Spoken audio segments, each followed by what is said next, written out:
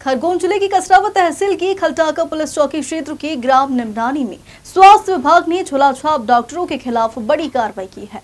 आपको बता दें कि नायब तहसीलदार और बीएमओ जैसे ही कार्रवाई करने के लिए निमरानी पहुँची तो फर्जी डॉक्टरों में हड़कम मच गया है और वहाँ क्लिनिक बंद कर रफू चक्कर हो गए। इस दौरान टीम ने निमरानी बैंटी में स्थित एक क्लिनिक पर कार्रवाई करते हुए उसे सील कर दिया है। दरअसल निमरानी मगरखड़ी क्षेत्र में दर्जन भर से अधिक झोलाछाप डॉक्टर एलोपैथिक दवाइयाँ देकर भोली भाली जनता के स्वास्थ्य के साथ खिलवाड़ कर रहे हैं, जिसकी सूचना मिलने पर स्वास्थ्य विभाग की टीम कार्रवाई के लिए पहुँची थी। लेकिन उससे पहले ही फर्जी डॉक्टर क्लिनिक बंद करके भाग गए। अब देखना यह है कि इन लोगों के खिलाफ आगे क्या कार्रवाई करते हैं। एक्चुअली ये क्या इनके पास हमको एलोपैथिक दवाई गोली मिली और उस हिसाब से डिग्री नहीं है इनके इलेक्ट्रोपैथी में जो कि क्या क्लिनिक संचालक का क्या नाम है? संजय शर्मा। संजय शर्मा?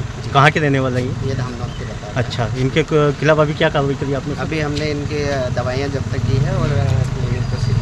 आपका नाम? मैं डॉक्टर संतोष। कौन से पद पे हो? मैं बी एम कसावत निमरानी से जितेंद्र सिंह चौहान की रिपोर्ट।